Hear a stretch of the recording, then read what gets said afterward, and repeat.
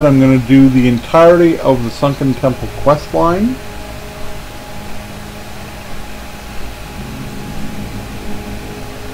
As though I've never been here before. Alright.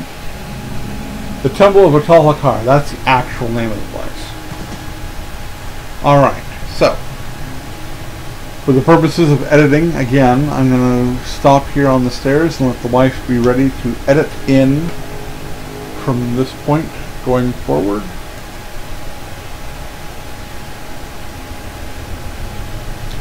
Alright, here we go. Now, first thing we're going to have to do is go away from the temple. And collect the artifacts from the Pool of Tears. The next one. It's not a big deal. They're just lying on the bottom of the water out here. Just a matter of finding them.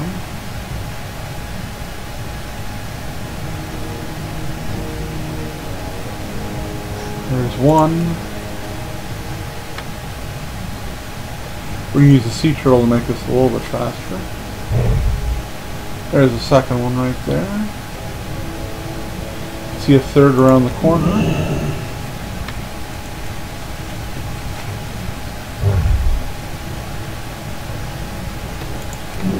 There we go. There's number three. Get back on the sea turtle. I see number four over there. And number five in the distance. Now this particular quest wasn't originally, that I can remember, part of getting the attunement into the temple. Now, we've got all our artifacties. Now we get flying. See that? Auto dismounted me. Be careful of that if you're flying over this area normally, because you can be as high as you want to be above the temple. You'll get uh, auto dismounted and you'll fall to your possible death depending on where you're flying and what angle you're at.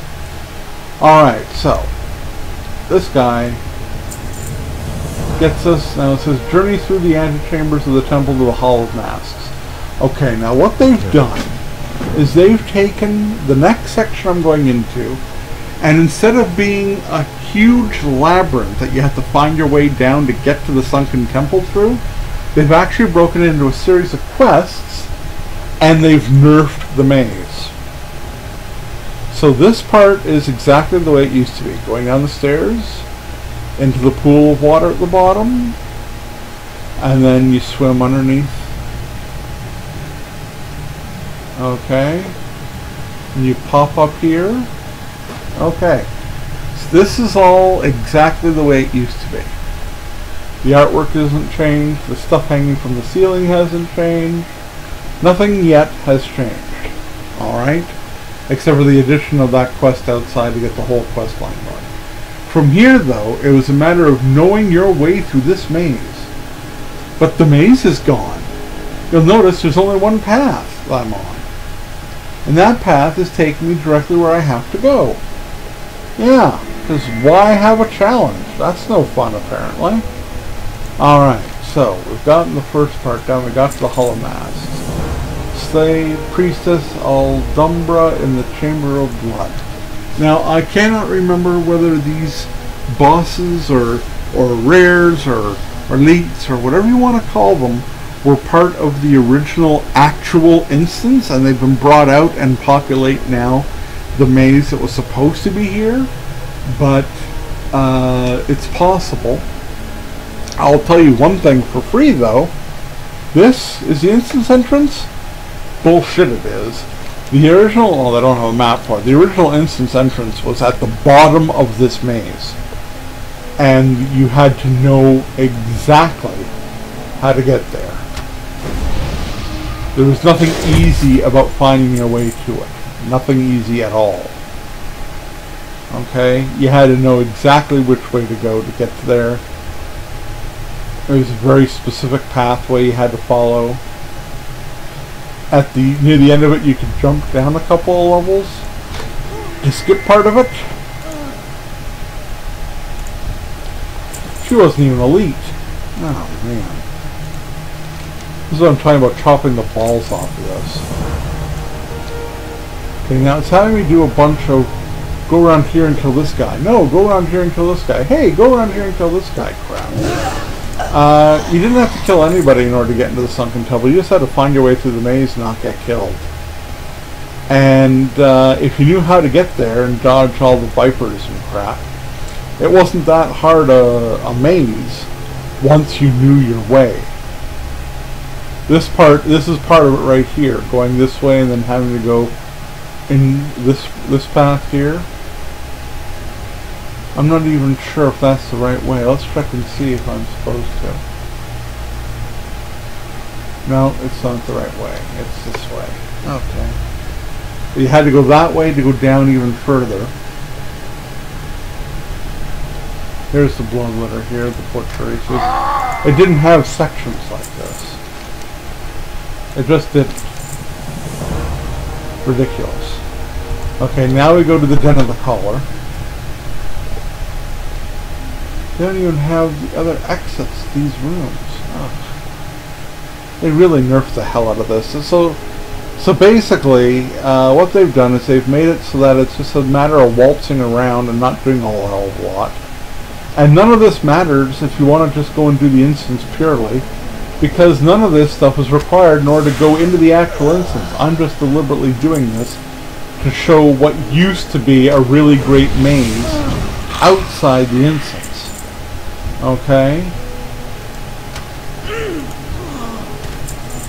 This particular area was kind of sort of part of going in. Another big stairway down.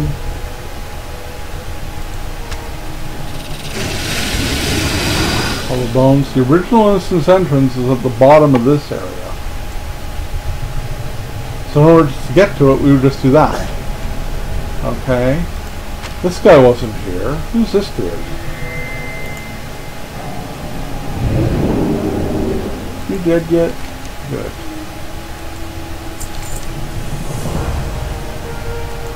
Now they make you go all the way. Look at this. Teleporting me back out.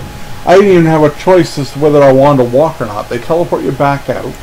Greetings. And you get your piece of crap item. Doesn't matter which one I get. I'm not keeping it. And now, go into the temple. Oh, what is this, to Stonard? Screw that, we're not doing anything that requires going anywhere other than the temple. So now we go back in the main entrance. See, this is this is the very disappointing part, is that you used to have to go and do all the stuff I just did, except without the bosses, and with a lot more maze, just to get inside. And if that wasn't enough, wait until I tell you what was actually inside the temple, versus what's in the temple now because the temple now is about 15 minutes if you're lucky worth of going around killing things with only one boss being slightly challenging which makes it unable to be soloed by people at the level of the instance you have to have at least two people in order to uh, complete this instance whether uh, you have uh, heirlooms or not Okay, here's the here's the entrance now. All right. And the first thing you're gonna see is the guy I turn this into, and then I get other quests to kill some other guys. Okay, three quests. That boss. That boss. Final boss. Okay. All right. Now. This is the entrance to the Sunken Temple, exactly the way it used to be, except for the floor here. This is the entire map of the instance. If anybody remembers the original temple entrance, or the original instance, it had four levels. Now, the four levels, all of them were round. This was the first level and it had a large central area that you can see us coming up to right here, the pit of sacrifice. And it had chambers going all the way around it and stairways going up. The second level had uh, a hallway going all the way around the central area. What was considered the third level was the uh, ledges that you went out onto from the second level corridor. and the fourth level was actually the bottom of the pit of sacrifice. Number one, there is now no longer a bottom of the pit of sacrifice. This is it. This is the whole place right here. We're at it already. Number two, these hallways off the way they are, they were actually where you'd go to go up the stairways and crap. There weren't bosses down them. The bosses were at in certain sections around the ring on the second level and on the first level. And what you had to ultimately do is go up to the second level of the instance, go to the different uh, ledges that were protruding out from the enclosed corridor through the different hallways, and you had to throw switches in a certain sequence, and you got that sequence by going somewhere in the instance and finding a piece of paper or something, I believe it was, or a note that told you which way to throw them. And if you threw the switches in the right way, you opened up the pit of sacrifice and gained access to the final boss. Now, it's literally five bosses, okay? You've got what everybody does as the first boss, which is the only one that provides any trouble the way it used to in the first uh, version of the instance. You have a second boss which appears in the center, which is a bunch of dragons, and you, you have to down the main one. You have the uh, third boss, Avatar of Hakkar, which technically kind of completes the instance, but not really. A fourth boss, which is another bunch of dragons, and the final boss, which is the Shade. You can do this in any any way. It doesn't really matter. But you can already see there's there's one area that's blocked off, and the hallway started right here. You can actually see these used to be the hallways. You used to come in here and you'd go around looking for the way in. It's just such a shame. This this instance is the only instance I can guarantee definitely got nerfed more than Scholomance did. You, oh, they actually might allow you to still see down. That's where the final boss used to be, folks. Down there. It's not even part of the instance anymore.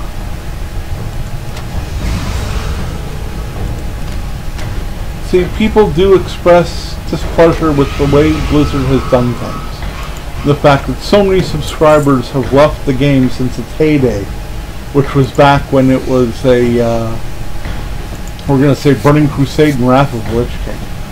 That was the game's heyday. That was when the game was really good. The expansions were incredible. Burning Crusade, yeah, you had to work your way through Hellfire Peninsula, but once you got through that section, my goodness, you had lots to do. You had to get attuned to the instances. You couldn't just go to the Arcatraz and waltz in. No, you had to actually gain the ability to get the key to get in there. You couldn't just go to the Black Temple. You had to do a whole buttload of questing to do that. A buttload of questing, I might add, that my main character has done. They've nerfed the game so horribly badly, I don't even know how to begin to tell you. I mean, I'm only giving you an idea in the instances, but the game has been really terribly changed. It's been deliberately rendered uh, easier for noobs to play the game. Like all of a sudden, Blizzard thinks that their uh, main target is the uh, gross populace of the world. You know, society in general, not people who play RPGs. They want to be accessible to everybody. I applaud them on that idea. And by all means, make newbie start zones for the people who aren't really used to playing RPGs or or uh, online games.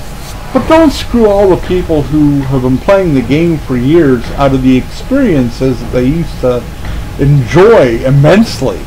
The challenges that used to be there. I mean, yeah, you can run the Sunken Temple as a heroic, but you're still running this Sunken Temple. You're not running the real Sunken Temple. You're running this version.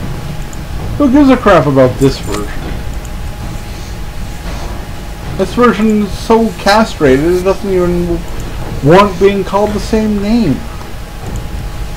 Why don't you call it Tiny Little Instance with lots of dragons to skin? That's pretty much what it's been reduced to. Yes, I'm bitching, and yes, I'm moaning, and yes, I'm complaining. And yes, I'm probably doing the old man syndrome thing of get the hell off my lawn. but to be completely honest, if you knew this instance the way I knew this instance back in the day, you'd probably be pissed too. Because what ultimately Blizzard has ultimately done with all the added content and all the expansion content, they've actually gone back and removed other content. Technically, this instance has removed content. And so does Scholomance, in a big way.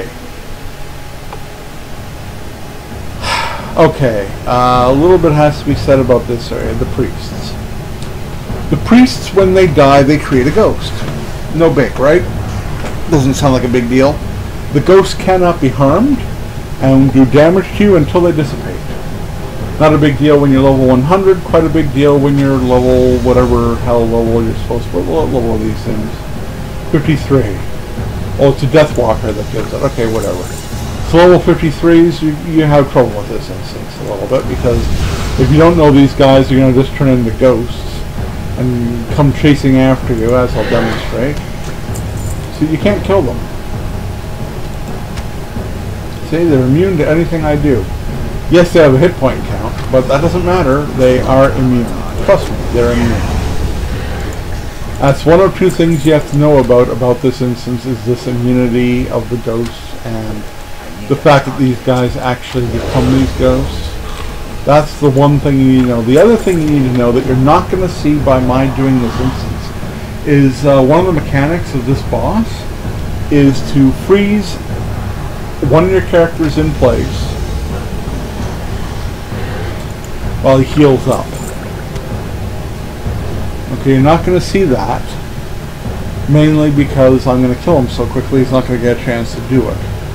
But the fact that he does that ability the fact that he freezes you in place and he freezes a random person while he does the healing off that person. Um, he actually makes that. Actually, I don't know if he freezes them. I think he actually makes that person friendly to him. So you do damage to other characters in your instance while he heals up. I think that's how it works. Either way, it doesn't matter. The point is, um, because of that specific mechanic, you cannot solo this instance at level.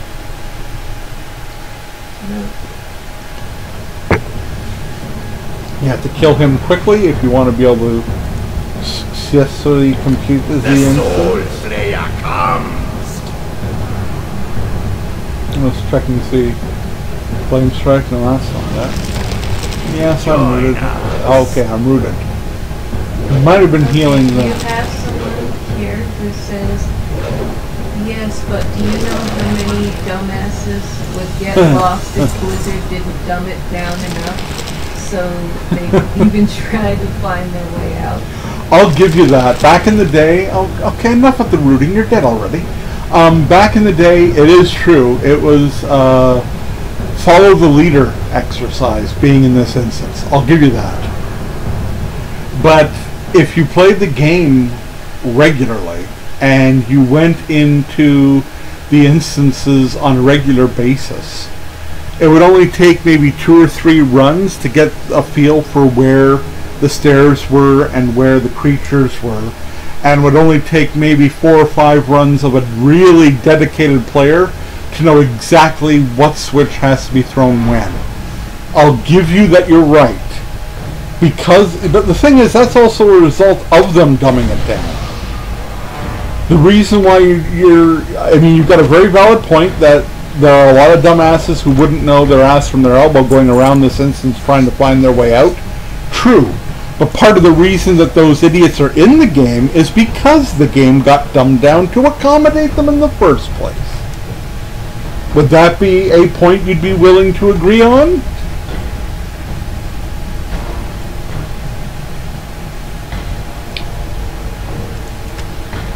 That, by the way, was the summoned boss that comes up as a result of killing the first boss. The dragons come in, you kill them. They're really, really challenging. They're all tank and He strength. agrees to that, yes. I figured he might. so, you know, the game has been dumbed down because of the idiots playing it, but the idiots playing it wouldn't have been if the game hadn't been dumbed down in the first place. And certain things don't make sense to dumb down. I mean, I think you're missing out a lot. Yes, I know that if you want to get to the current content, you want to get through the lower level content as quickly as possible, okay? Good point. Right. True. Very true. However, I think that if you want to experience the game the way it was, you cannot do, you don't have that option anymore. I want to, if I want to go into the Black Temple, if I deliberately want to go into the Black Temple in Burning Crusade, I should have to jump through the same damn hoops that anybody who was playing Burning Crusade when it was a current expansion had to do then. But they've taken it away now. You can jump through those same hoops if you really, really want to. But that doesn't stop Joe Blow from waltzing in and doing whatever he wants, and next thing you know, the instance is done. I mean, the Black Temple was an epic, epic raid. Just getting to it meant you had to do a lot of instances. Finding the right items off the right bosses, putting it together, doing uh, certain instances in a certain order. It was an epic quest chain and you couldn't do it unless you had people who knew the instances. I remember back in the day when going to the Arcatraz and attempting to complete that was a challenge. You'd be lucky if you had more than one person in your group even have the key to get in it.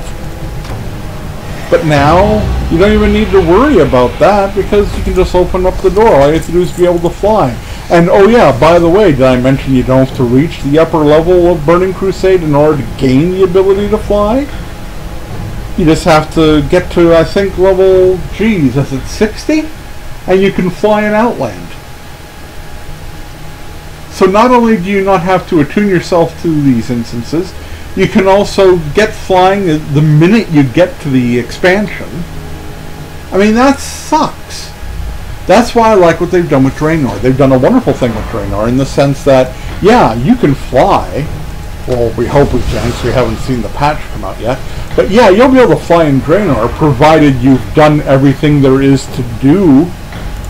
I mean, they make you have to complete almost every single quest in every single zone. And that's just for starters. Then you have to do all the level 100 uh, quests that you get off the table in your garrison. And then you have to gather treasure, so it's not just a matter of completing the zones. You have to complete the zones, get the maps, and then go treasure hunting. And if that's not enough, then you have to raise up your rep with the three main uh, reputations in uh, Tanaan Jungle. Then you have the ability. It's kind of like driving a car. It's a not a right. It's a privilege. You have to earn that privilege, right? You and I worked really hard to earn a lot of the privileges. Yeah. I mean, you don't just walk into the Arcatraz in Burning Crusade. You don't just walk into the Black Temple. Nope. You have to earn the right to get to the Black Temple. Yeah. And then you have to, you know, learn everything bit by bit.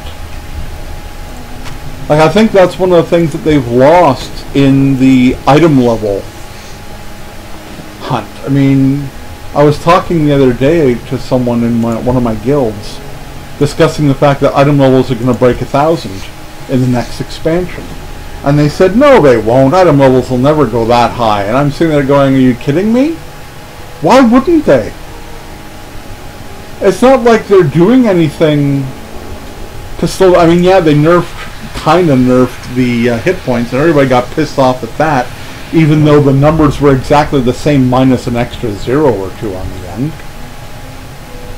But, I mean, on the whole, Blizzard's kind of... They're not... They're not making sense with some of the choices they're making. They're getting rid of content because they think that new people aren't intelligent enough to handle it, and therefore they are allowing an influx of people who don't want to do it. They're letting the 10-year-olds rule the dungeons. they're letting the people who are not dedicated in playing the game get to all the content that you had to be dedicated. Yeah, back in the day, you had to have a guild to complete all the uh, content. And I am guilty of wishing I had a guild that was worthy of doing upper level content. When I was in Burning Crusade, I never saw the Black Temple while I was in Burning Crusade. Based on what I've been saying the last few minutes, that's probably a shock to anybody listening. But yeah, I never saw the Black Temple in Burning Crusade. I didn't see the Black Temple. You want to know when I saw the Black Temple? You're going to get a good laugh out of this. I saw the Black Temple in the last few months when I ran it with a level 100. My main Gutrend ran it at level 100 uh, because I never had a guild that was geared enough to even consider starting the Black Temple. I mean, how sad is that? Tempest Keep? Nope, never saw the inside of that until recently. Let's see, what other raids were there? Oh, there was the, uh, were the, oh, jeez, the time, the time slip instances. I don't even know what they're called now. The ones you access through the uh, Cavern of Lost Time in Tanaris. Those instances. Uh, I don't think any of them. I don't think there were. There was some. At least one was a raid. Hyjal. The Battle from Mount Hyjal was a raid, but I can't remember when that was actually put into the game. Um,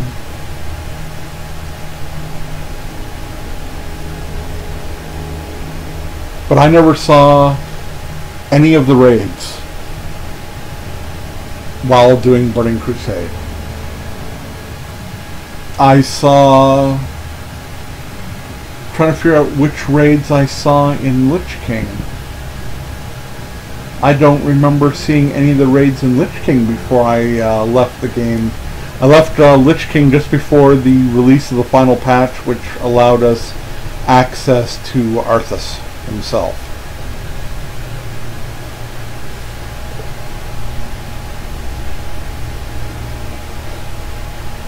Because you needed to actually have people who knew their shit and were dedicated